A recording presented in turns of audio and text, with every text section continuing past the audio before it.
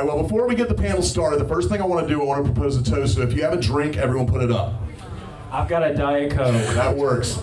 This panel right here is dedicated to two of the OGs of independent horror filmmaking that we recently lost to blaze the trail that these guys are now walking. So here's to Tobe Hooper and George Romero. Oh, I'll drink to that. I don't like either. Yeah. I've got the invisible drink. All right. Well, I'd like to thank you all for uh, coming here to the Independent Filmmakers panel. But I want to start off here. Well, we'll start right here. And we're going to go down, and I want everybody to uh, introduce yourself and tell us what you are, what your current project is, and what you're here promoting. Uh, my name is uh, Nathan Erdel, and I wrote Headless. Um, I'm not promoting anything, so I'm promoting uh, She Was So Pretty and Crazy Fat Ethel and it's on this panel. So, I'm Bobby Easley, and uh, this year we are producing four films. And I'm supposed to take a year off, but I'm here fishing for new ideas. So that's it. Uh, my name is. Hey, what's up? Thank you. Uh, my name is PJ Starks. I'm the creator and producer of the Volumes of Blood franchise. Um, I'm mainly. Um, I'm mainly doing horror producing right now, so I'm working on several different films: Gnawbone, Angel, and like four or five others uh, at the moment. I've got a couple more that are com- Volumes of Blood Horror Stories is the main film that just recently came out, and then I produced another movie called Butcher the Bakers that's going to be coming out in the next couple months. So that's pretty much what I'm doing. Thank you. Hey, I'm Brian Dorton, writer director of Crazy Fat Ethel, which is which is playing tonight at midnight here. It's a free screening, so come see the movie.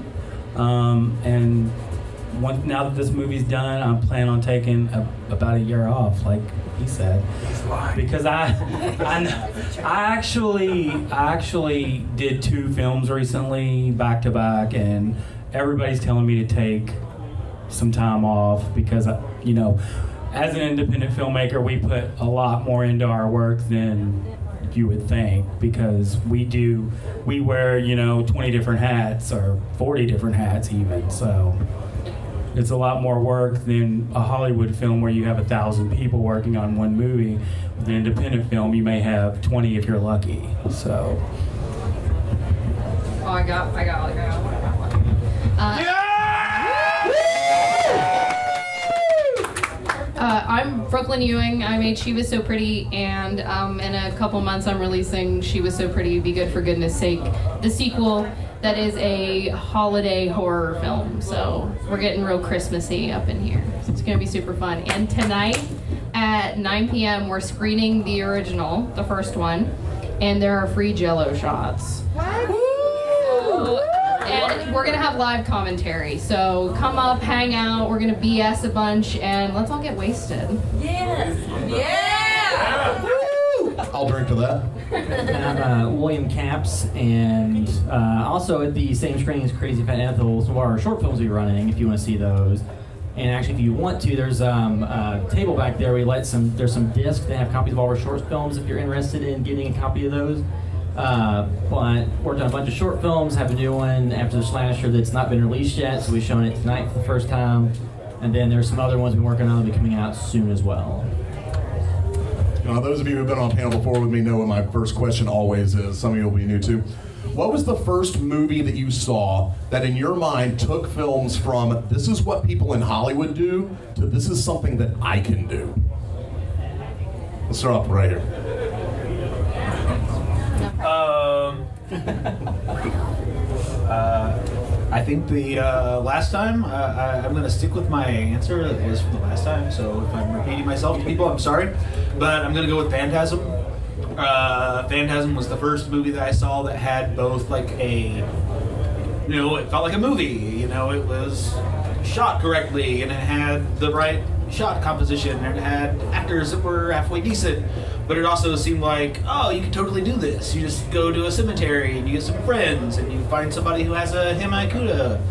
And um, yeah, so I would say uh, Phantasm. And I mean, it still holds up. It seems like a badass independent film. I normally say Dolomite, uh, Rudy Ray Moore, uh, just because the whole street just it was hilarious seeing the boom mics dipping into the frame, all that stuff. But because uh, Tobe Hooper and Texas Chainsaw Massacre, that is my favorite horror film. I actually went and visited every place they shot Texas Chainsaw Massacre, and a lot of them don't exist anymore because they've plowed highways and stuff through it. But that movie made me think, wow, it's just a couple people and they're out here, and it's seems like if you just write the story right, I think I could probably do something like this. And I think going to that lo- those locations put me on the right path. Like, oh, I'm actually here where this stuff happened. So it's step one, you know. So I'd have to say that Texas Chainsaw. Um, ironically, the the film that made me think, hey, I can make movies was not a horror film at all. It was Clerks. That was the one that I really watched, and, and you know, and you know, you love the characters, and you, you it just everything about it. And I thought, hey, I could probably do that. Um, and ironically, I could. So uh, maybe not as well, but I could. And um, but as far as um, like from a horror standpoint, I would say you know films like Texas Chainsaw Massacre. Um, I'm trying to think. Of, I mean, I grew up watch. I, I've always grown up watching horror films. Ghostbusters was kind of the film that really got that piqued my interest in the paranormal, and then it went on to like the Monster Squad, hey, and uh, and films like that. But as far as like, hey, I can make films, or I, I really want to make films, I would say it was Clerks. Yeah, I'm gonna step out of the horror genre too. Um, I think anybody anybody that knows me knows my favorite film of all time is Heathers, and I've had um, my crush on Winona ever since.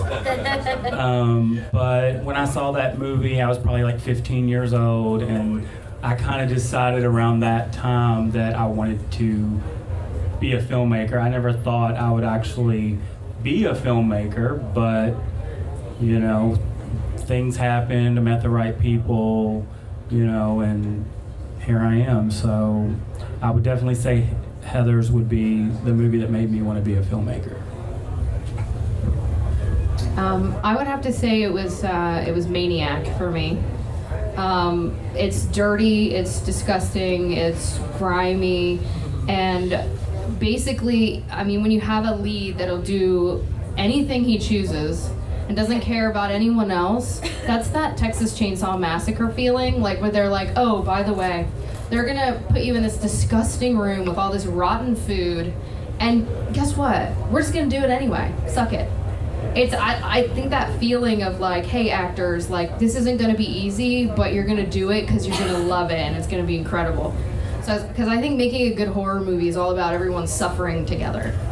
But when it's over what makes it great at the end though is you're like okay we did something i mean it was shitty and we feel terrible and we're all exhausted and we never want to do it again but we're already writing something else then then afterwards you celebrate with beers and then you go yeah, hell yeah, let's do that again. So it's that feeling of afterwards, and I think Maniac has that feeling in it, like that gross feeling. But then it became something, even though it was just like some dirty trash, you know. So what you're saying is making a movie is like getting a tattoo. It's a painful process, but at the end you have something that'll last forever. Yeah. There you go. Yeah. Hey, See, uh, the movie that made me kind of go from watching movies as you know this Star Wars Spielbergian thing you could never appreciate or accomplish to think I could do that was uh, the first Evil Dead. Listen to the director's commentary. They talked about being covered in caramel syrup and freezing in the Michigan wilderness and or Tennessee woods or whatever.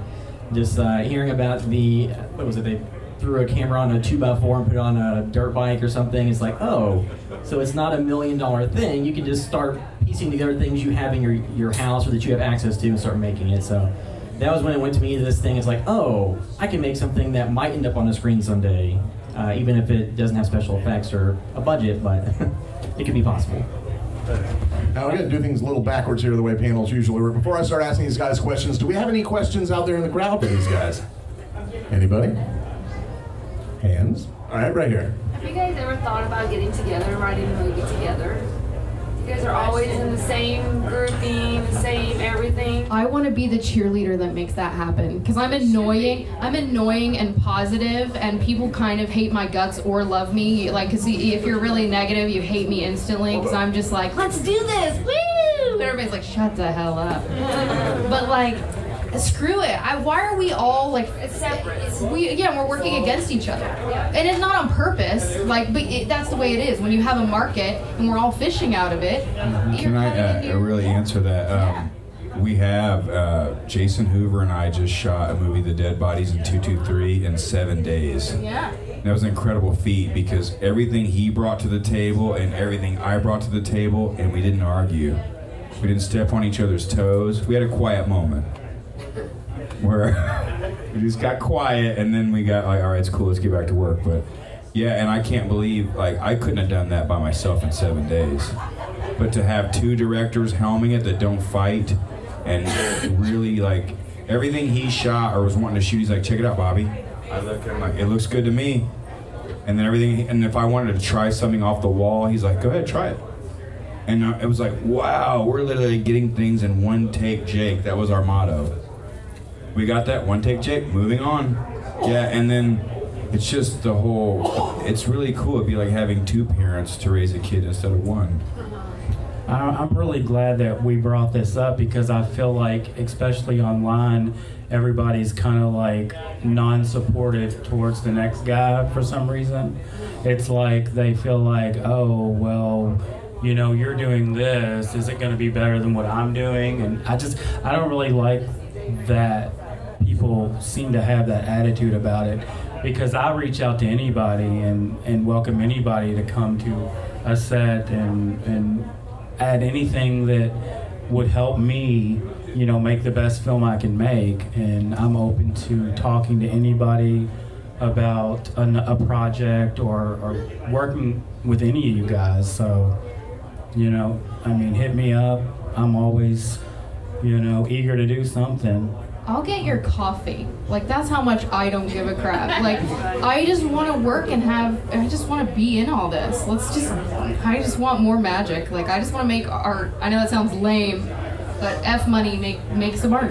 It's the fin- It's the final product that I think we're all in love with. Yeah. It's like once you get that final piece of art there, and you're like completely satisfied with what you've done. That what that is what makes you pick up, you know, the keyboard and start writing the next script because you're so satisfied with what you just did. Anybody else? Any other questions? All right, I'll start. Uh, let's start with you, PJ. Uh oh. Now, uh, you've written, directed everything, but you're primarily a producer, right? Um, I talk to a lot of, you know, film fans, not even just independent fans, but film fans, and they're kind of unclear on what exactly the producer does. Because, you know, the director and the actors always get more press. What exactly is the job of a producer? That's a good question.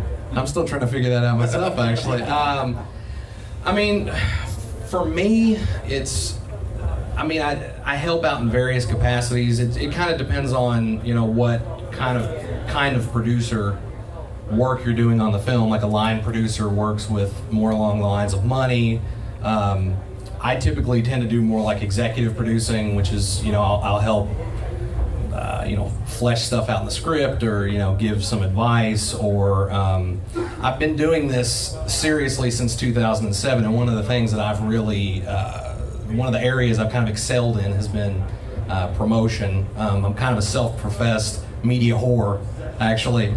Um, so that's kind of what I really have to offer, like when it comes to um, working with other filmmakers and helping other filmmakers. Because when I first started, there was that there was that learning process where I'm making a movie, and the whole purpose of of making it, um, it's not. You get to a point where it's not just about showing your friends or your mom.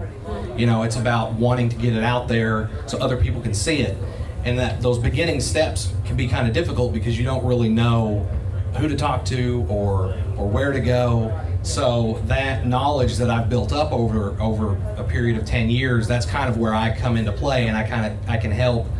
Um, you know, because now I'm some of these projects I'm working on. It's like it's it's funny because I've been doing it for a while, so I'm like, hey, I can get you an exclusive on Rue Morgue, and you'd have thought that they just like fucking won the lottery, or something. But I but I'm I'm kind of at that point where for me, and this kind of goes back in your last question. I don't know how many of you are familiar with Volumes of Blood or not, but it's an anthology series, and honestly, the whole now I haven't worked with uh, I've worked with William, I've worked with Sean back there, but. Uh, the whole purpose of creating Volumes of Blood was because I love collaboration. I love working with other filmmakers. Um, so that's kind of the whole reason I wanted to do Volumes of Blood was so I could reach out to like you know these guys, and you know I feel lucky that I'm getting a chance to meet some of these guys for the first time because we are doing a Volumes of Blood three, and I, keep, I say it's the final installment, but you know how that goes, and uh, so who, so who knows? But um, as far as like for me, producing means reaching out and, and helping. I, I don't do this for money. I don't do this, you know, because I'm trying to get a payday or anything like that. It's, it's about working with other filmmakers. It's about making something cool. This guy takes what we do when we're so exhausted at the end of a shoot, and we're like, this movie basically can go in a drawer. And he says, no, you ran out of gas. I'm gonna put this thing out here in front of the world. And he puts all his energies and efforts behind the picture and that's what you guys come to see. Because if it wasn't for the producer, we'd just be out of gas, out of money, and with something that's in a drawer. So. I'm gonna let you talk for me for the rest of this time because that's that sounds and that's kind of like Gnawbone. I mentioned Gnawbone earlier. Uh, Darren Means, who I think has been on this panel before, um, they did Gnawbone and they and then they had no idea what they were going to do with it. Um, for, I mean, for them it was a passion project, and like most of these movies, that's what they are. For us, they're passion projects. Um, and then I, he had caught wind of some of the things that I was working on, so he contacted me and we got talking about it. And, and um, so that's kind of what I did is I came onto his project to kind of help him get more exposure. I kind of helped with a re-edit, and now we're looking at like distributors and things of that nature. So that's pretty much what, as far as like producing, that that's where I come into play. Now I noticed um, this kind of goes to all the Louis, Louisville locals here. Um, I noticed when I was looking at you, you guys' body of work, kind of each of you, there's a lot of anthologies going on here, a lot more than you see. There, like I, I, dig the anthology format. Why is that kind of something big that I see you guys doing? That there's not a whole lot of indie anthologies coming out right now.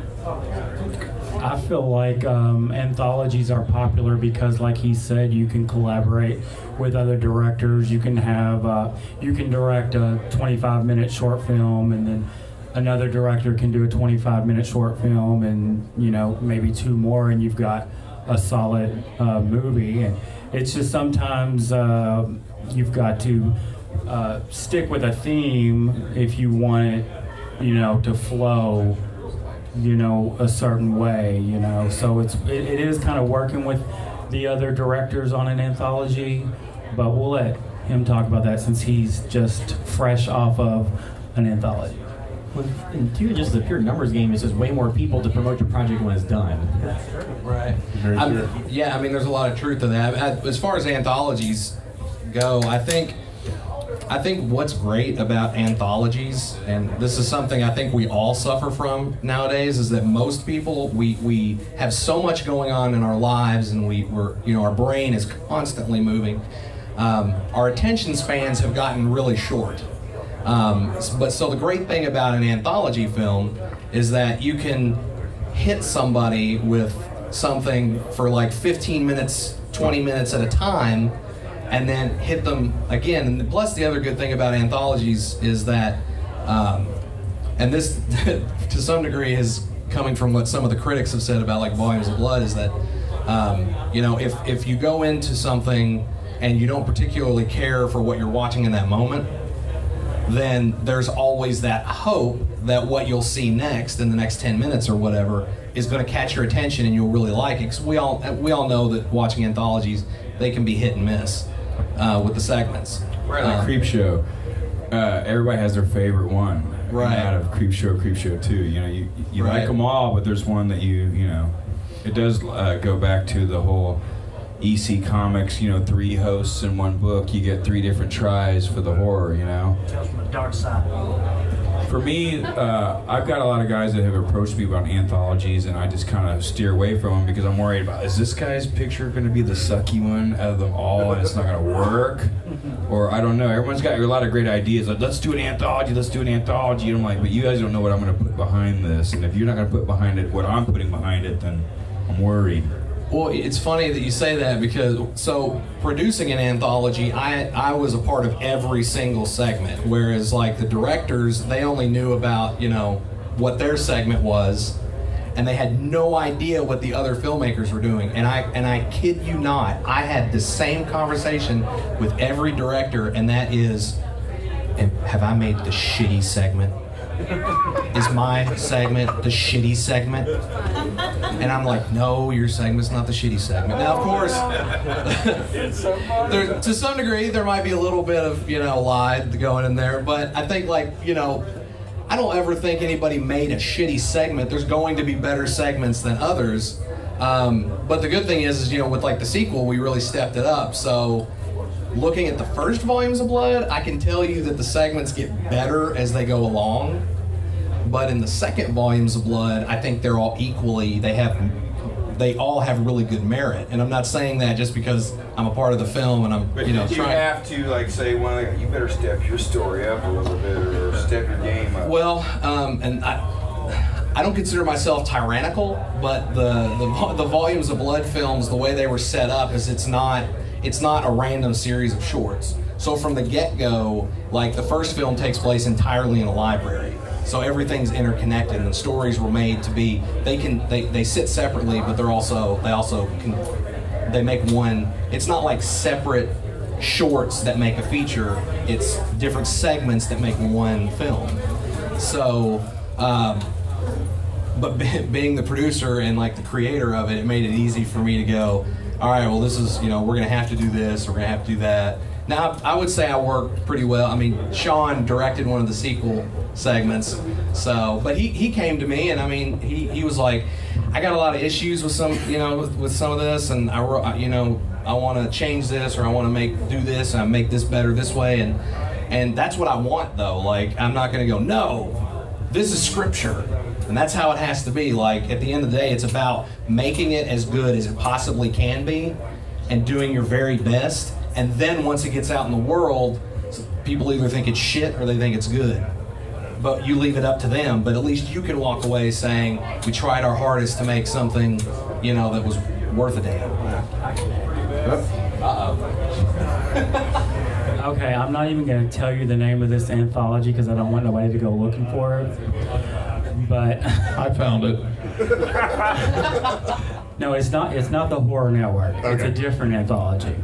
But um, okay, so I had a director slash producer approach me about doing a short for an anthology that he was working on. This was in 2011. So I was like, okay, I had actually just finished a short film and it wasn't my best work. And, you know, I was almost like, God, I hope, you know, this is as good as the other ones. And then the movie got distributed and came out and I saw it. And the other short films were atrocious. And I was sitting there thinking, you know, I, I could just tell that the guy who put the whole thing together, I won't name any names because some of y'all might know him, they didn't give a shit about this anthology. The first uh, story, y'all probably know Shawn C. Phillips, was some YouTube movie that he threw together like 10 years ago and put on a, in a current anthology. And then the next one was The Producers, and it took place in a backyard. It was about three minutes long, and all it was was two guys talking, and then the other guy killed the other guy with a hammer over uh, cheating on his girlfriend or something. And then, um, so basically, what I was saying is, a lot of people approached me later and they were like, uh, "You seem to be the only one that had any ambitious ambition with your short film for that project." And I was like, "Well, I had no idea because these people were out of uh, L.A. and stuff." And I sent, you know, what I had to them, and then the other guys, you know, they just threw together a piece of. Even the wraparound was horrendous and poorly edited. So I don't really like to talk about it, but I can see what you guys are talking about. Are you all going to step up your game? Because you know, back then I didn't know I didn't know any better. You know, I was just like, ooh, I get my horror film in an anthology, you know, and now I'm kind of like you guys. I'm like, oh, tell me about this. So I can definitely see where you all are coming from there. Hey, this is for uh, William down here on the end. Uh, first of all, can you tell us a little bit about uh, House by the Video Store and what that, what exactly that is? Uh, so it's a website that we started a couple years ago that mostly started out doing video reviews of horror movies. Because at the time, most of the videos you saw there about horror movies were just kind of somebody sitting in a bedroom in a dimly lit room talking about a movie. So the goal was to do video reviews that had a little bit more effort put into them. Uh, but that proved to take up a lot of time for very little gain. Uh, so then we started a podcast and then uh, entered a 48 hour uh, film competition a couple years ago and one, and then kind of just tilted more in the direction of doing film stuff after that. Because at least at that, you have a tangible thing out in the world that people will like or not like, but it's not just a video review of something that can be taken down from YouTube at any moment because the studio changed their mind on clips from their movie. Now, speaking speaking as a reviewer and someone who covers horror media, like all of us want to make horror movies. That's just the way it is. What was kind of the kick in the ass that got you guys like over the hump to actually going from reviewing them to making them?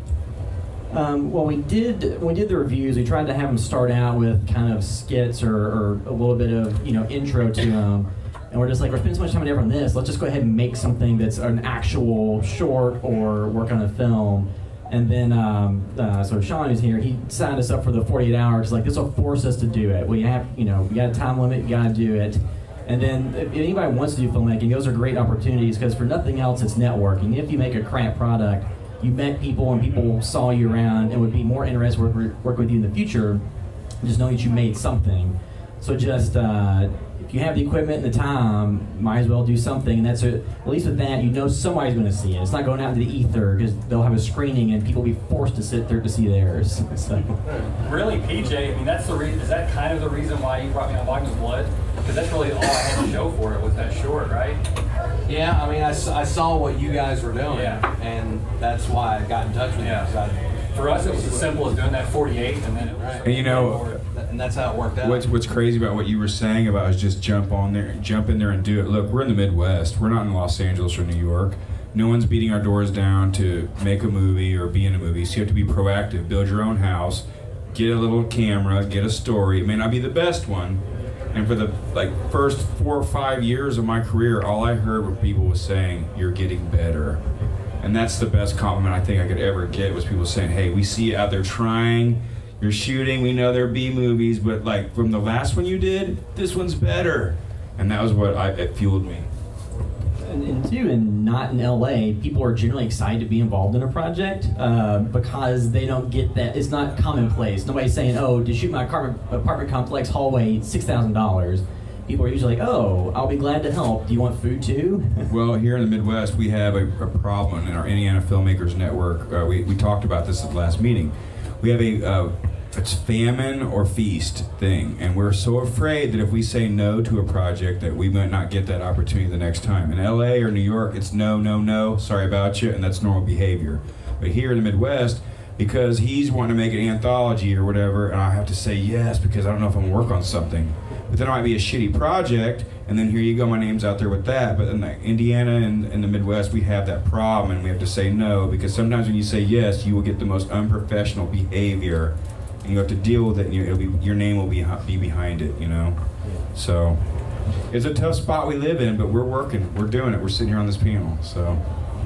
Now, one thing I noticed about uh, the ones you directed, is, in particular, is the um, your use of static shots and really setting up a you know a frame as opposed to you know how handheld shaky cam is kind of the predominant way of shooting right now. And uh, Brooklyn in uh, She's So Pretty, you kind of had you did shaky cam in the first half of the movie and a lot of static uh, shots in the second half. So I want to know why you chose to do it that way, and if anyone else wants to speak on kind of the the merits and detriments of with either style of uh, shooting once Brooklyn's done, go for it. All right, so I'm going to tell you the lying answer first. Um, the movie is about a serial killer, and the first half, uh, he's still coming to terms with all of the things he's doing, and he's still kind of fresh. And so, when you're walking around with him at the beginning of that film, it's handheld because I want you to feel that feeling that he's feeling. You're unsafe, you know, you're you're feeling weird, and then later when he's in his home and he's comfortable, it's you know it's that lockdown. You know, so you you're comfortable with him. You're like. And you start to feel gross about it because you're like, "Ooh, why do I feel comfortable? I'm in a serial killer den, but you just feel better because you're not like moving around. But in reality, I shot that movie over a year for fun with my friends.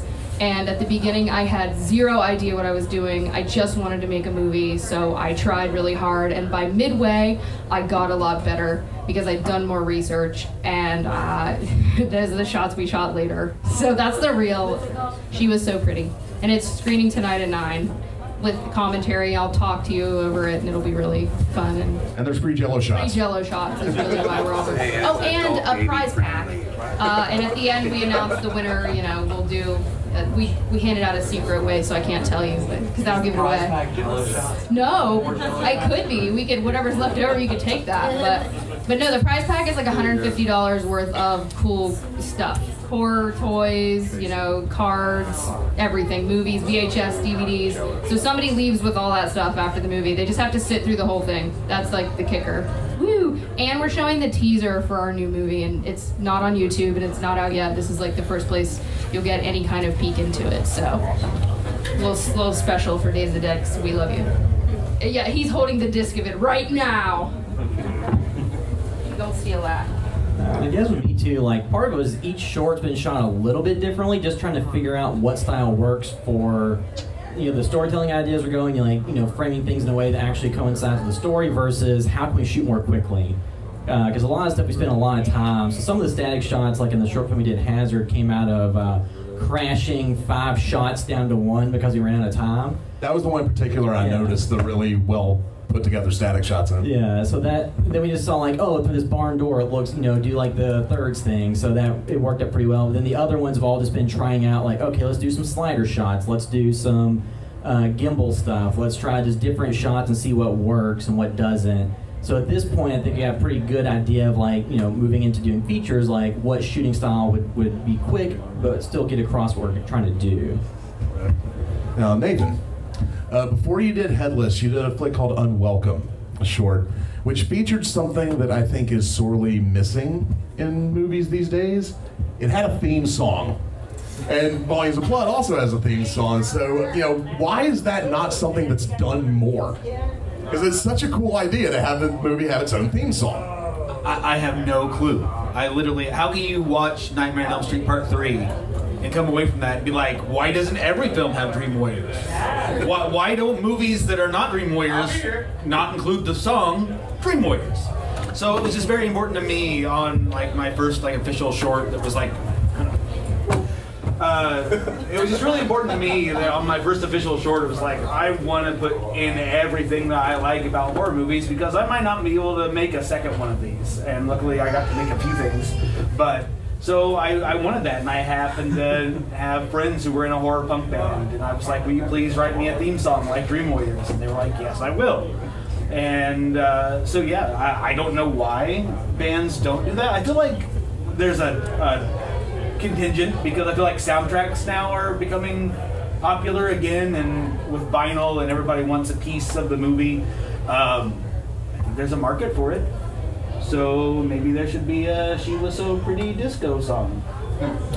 Just saying. You know what? I think we all just live in that fear that it will it'll never be Dream Warriors, and so we just like hide under the table, like it's never gonna be that, so I'm not gonna do it. If it's not Dream Warriors, it can at least be the theme from New Wave Hookers. That's true. Which was great in its own right.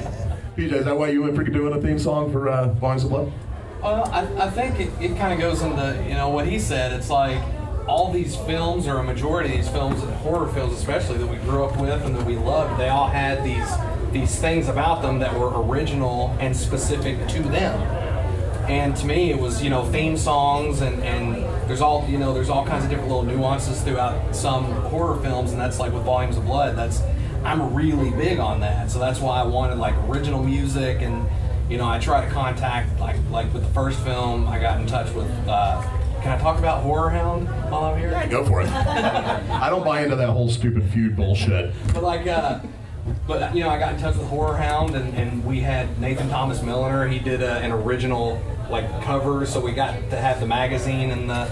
So it was just you know all the like little cool things like that that maybe for most viewers don't really mean much, but like for horror fans, us, when you see those things, you're like, wow, that's really cool, and and it, to a degree, also I think it kind of ups the production value in a way because it's you know it's not that you just went out and not there's anything wrong with this, but you didn't just go out and just get random songs. You have some that are just very specific to the project that you're doing. Now, Volumes of Blood 2, the uh, the framing device is uh, a couple of horror geeks talking all about movies. And one of the things they say is something I've said forever. Why are they remaking all the classics? Why don't you go back and remake the bad horror movies? And that's exactly what you did. That's what you call a segue, folks. They, um, what really drew you to Criminally Insane, which is kind of an obscure flick to pick to do a remake of? What drew you to that and uh, got you got that project going? Uh, well, in about 2005, that's when I is this on? No. in 2005, I uh, I think that's around when I first saw Criminally Insane. I wasn't fortunate enough to see it as a child, but um, the first thing I the first time I noticed it, I, I can't remember what movie I was watching, but the trailer was on. Um, a different movie and I just saw this fat lady with a cleaver killing people because she was hungry and I was like I gotta see that movie and uh, so you know uh, I think I went to uh, Amazon or something and found a copy. And we me and my friend Doug watched it who also uh, helped make the film. He's the cinematographer. And we just really loved the movie and we were like God what would this be like today? You know, like if this film was made today, you know, how, what, what approach would you take, and blah blah blah. So we kind of left it at that, and then without Doug's knowledge, I uh, I emailed um, the distributor that put out the original Criminally Insane, and I asked them to give the whoever has the rights to Criminally Insane my information and have them call me. And I'm thinking I'll never hear anything from these people. Well, I was I, I, was taking a nap like two weeks later, and the phone rang, and it was an unknown number, which I usually don't pick up on. And uh, I woke up kind of in a daze, and I was like, "Hello," and he was like, "This is Nick Millard," and I was like, "Who?" Because I had just woken up, and he was like, "Nick Millard, the director of Criminally Insane," and I was like, "Oh, I'm awake." and we uh, me and him talked for about an hour and a half on the phone i told him what we wanted to do told him our budget restrictions which he was very uh, nice because he gave us the rights for much less than you would think and to answer your question um, we just really enjoyed the movie and thought that it could be improved upon. Um, I'll always like the original movie better, even though this is a you know a more serious, darker version. Um, I was very specific about every death in the movie being uh, kind of uh, different from what you've seen. And then, you know, we wanted to throw in a couple of classic deaths, you know, like the you know, in, in, in a lot of Friday the 13th movies where it's kind of a camera trick, you throw the weapon and, you know, pan the camera real quick and they've got the weapon stuck in their face. So we wanted to do stuff like that and we, we really pulled off a pretty good kill there. Um, but I'm really proud of some of the death scenes in the movie because I paid very close attention to them. Some of them, you know, you plan a certain death scene and they don't turn out exactly how you wanted it, and you may have to cut it down a little bit.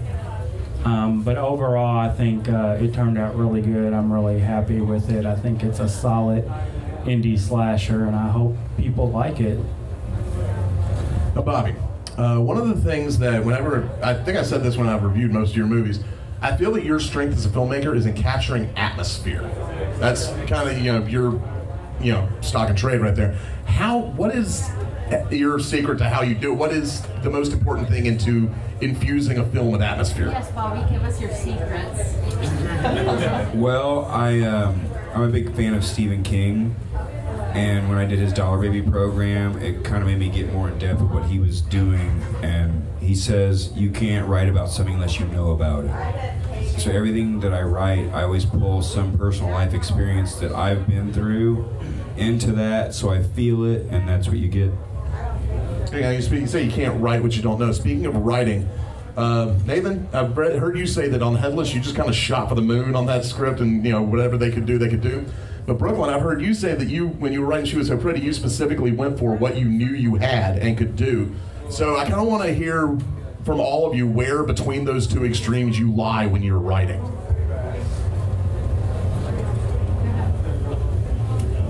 Well, for me, I I started writing kind of to the places that I knew we would have access to. Um, also, I you know I kind of had the advantage or disadvantage, however you want to look at it, of having the small amount of headless is is found, and so I had to be able to be like, okay, whatever I write has to be able to encapsulate this. But after a certain point, I just realized I want a body pit. I want an eyeball tree. Me, me, I want. Damn it! I don't need to be the producer. I fuck the producer. That's his his problem, his headache.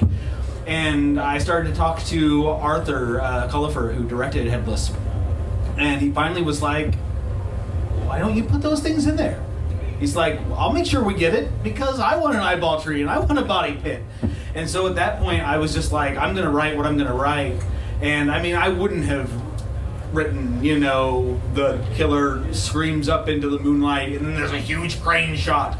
And but maybe I would have, and maybe we would have tried to make it and, and, and not. There was definitely things in the headless script that didn't make it into the script, and maybe they'll show up some other time in, in another thing. But uh, really, for me, it was like I'm going to tell the story that I, I see in my head, and they'll pull me back, you know, or they'll just tell me flat out, we can't do this. But, you know, we decided, for example, we wanted to have a roller rink in the film, and we kind of went crazy trying to find it, and we finally found it, and it turned out to be perfect because when we finally find, found the roller rink that uh, let us shoot in there, it was the guy who was a horror nut who had Elvira posters up on his office, and he let us put blood down, and he charged us 300 bucks in a case of Corona to let us shoot there for the day, and it was the cheapest, you know, case of Corona we ever bought because we got so much out of it. Um, I don't know. Uh, I just at, at some point it was just like, fuck it, you know, I'm gonna write. I don't know what you guys feel like. Well, I spent zero dollars on my first film, so uh, we were really limited, a lot, and we just wanted to have a good time. So it was like, well, I have a house with a uh, creepy workroom. I was like, I'm gonna make it a serial killer den because you know it already kind of looks like one. And so I was like, and I've I- I've been studying serial killers since I was a kid because my mom is like also a weirdo. So she was like, hey, check. She was like, check out this Ted Bundy book, and I was like, okay.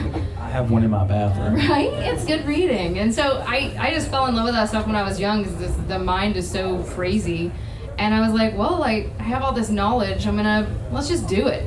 And so zero bucks later, we just filmed it and had some fun. And I don't know, sometimes you just got to look at what you can do.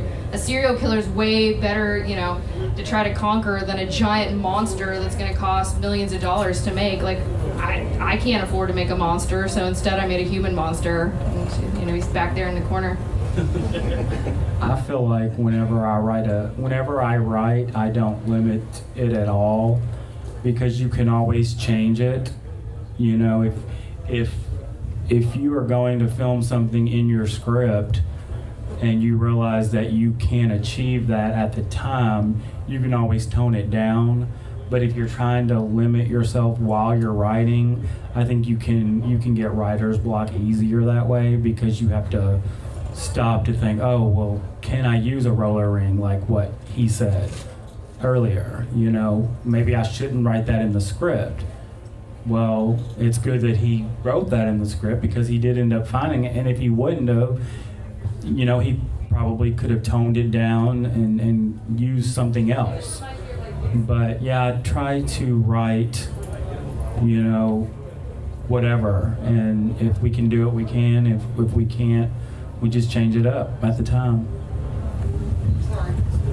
Anyone else want to weigh in on that one? I was gonna say, um, Hello.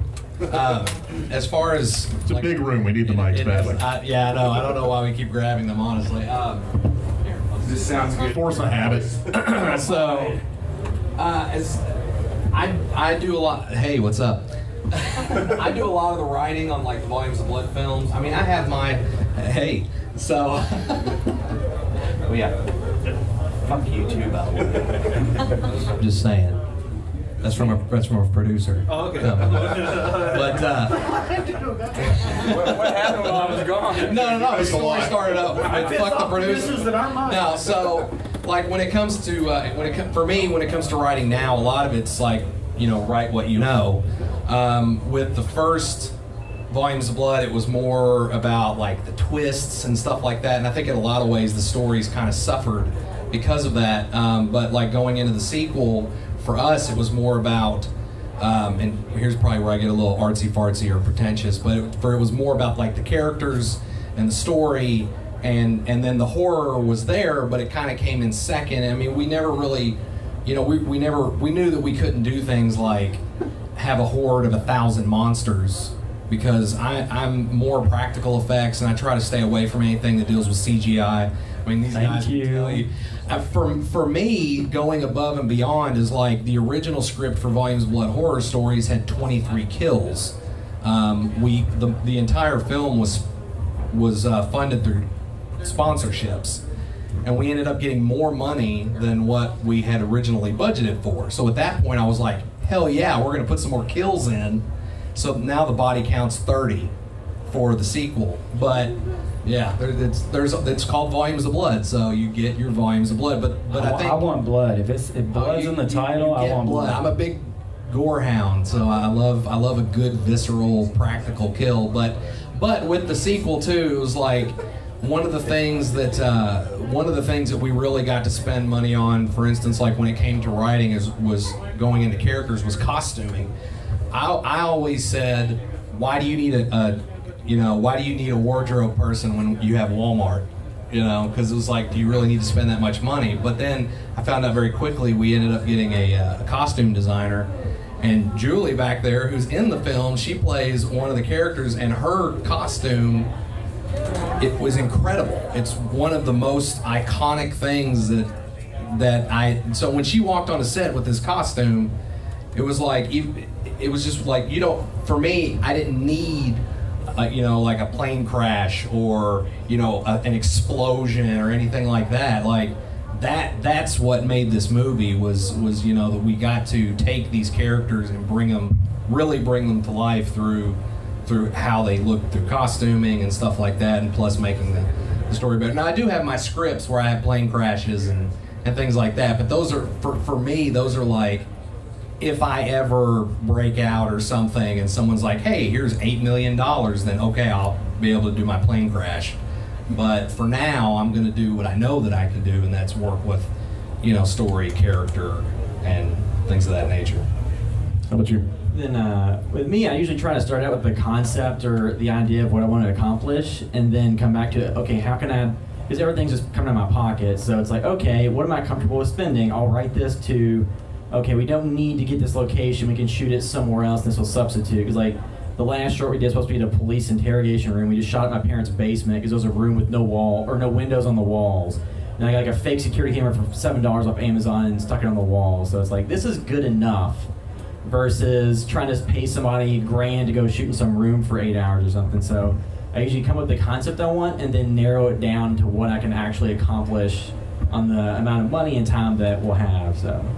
Uh, we're quickly running out of time here, so before we uh, before we call this, I want to just go down the line and please tell everybody where they can find your stuff and you know what they need to know to check out your flicks. Start here and move down.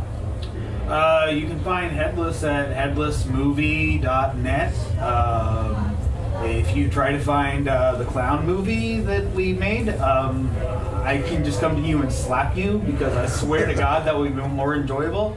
Um, but yeah, again, uh, I would say that right now I'm not pitching anything, so listen to these guys and buy their shit. And let me tell you something real quick though. Uh, I do want to say this: is the, the question about why don't we all work together? I mean, I think it's a great idea, but I'll, I'll tell you this much: when I'm behind a table here, hawking my stuff, which is not very much anymore because the bandit guys usually do that.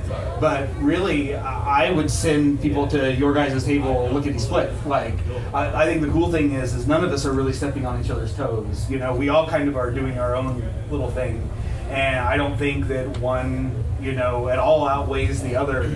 And for my money, I mean, it's cool to meet celebrities and stuff, but these are the people who make me nervous. I just want you to like my damn post on Facebook. That's the support I want. I, I'm an introvert even online, so. Bobby? Uh, the Devil Dogs a Kilo Company, we are wrapping our pre-sale September the 8th. You can get that at www.thedevildogsakilo company.com. Belly Timber will be starting its pre-sale in October. The Dead Bodies in 223 is looking for international distribution right now, and Car 86, which we shot with Mayor Greg Ballard's son uh, from Indianapolis. over. Yeah, that uh, will be screening at Horror Hound September 8th. Uh, so feel free to check it out. All of our stuff. PJ?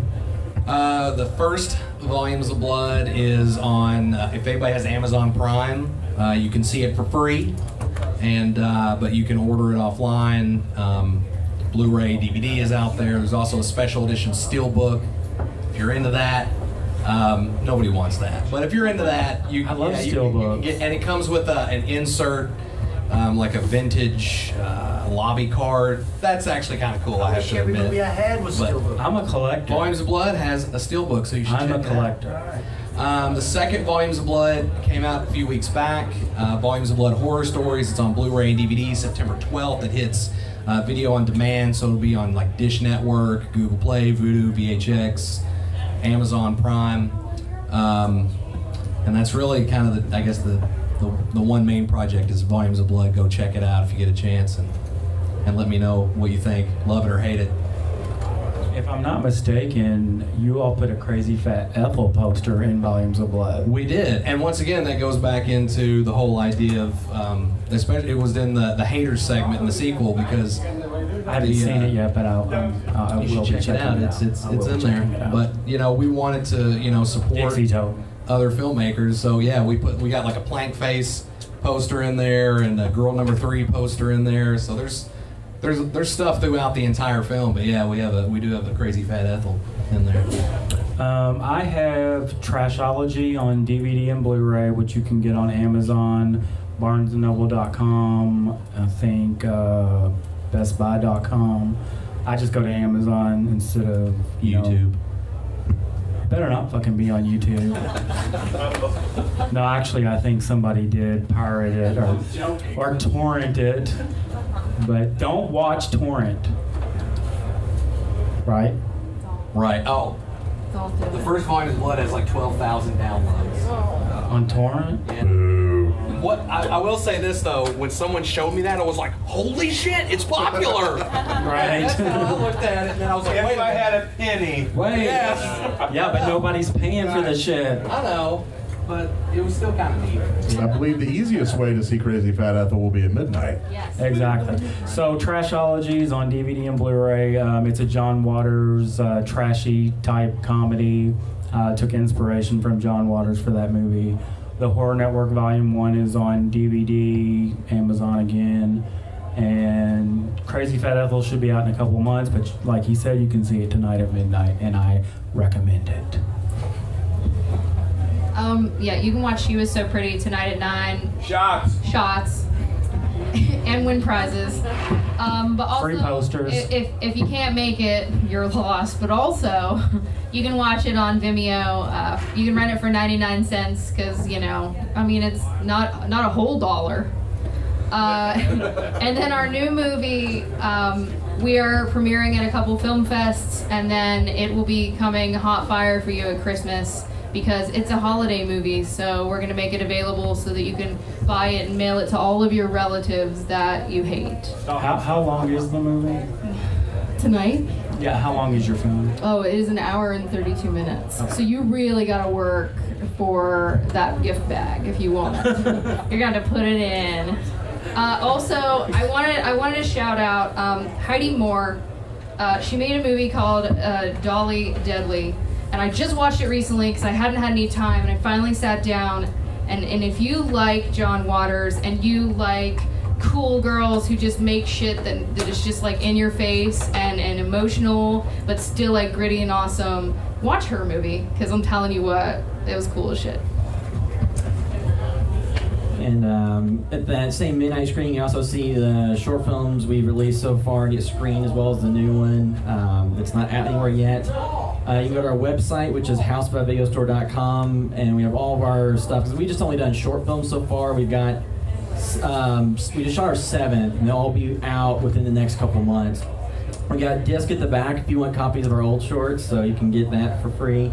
Um, and you know we'll have more stuff working on next year for you know like on a feature or something like that. Um, one of our shorts, uh, Hazard, has a clip in Volumes of Blood Horror Stories, so you can check that out and see both things. Um, and actually, too, I did a behind the scenes on the disc, right? Yeah, so there's a behind the scenes video that's on that DVD Blu-ray. But yeah, our website you can see all of our stuff. We have a YouTube channel where all of our shorts go, so the website's the place to find links to all that stuff. Uh, before we cut it here, I want to say thank you to everyone here in the crowd because it's the guys like you who support indie horror that allow the people up here to do what they do. So give these guys a hand, but give your yourselves a hand too. All right, thank you all for coming to the Independent Filmmakers panel. Now everyone head directly to the screening room to watch She Was So Pretty. Angelica. Not host, waiting in a post by the video store.com.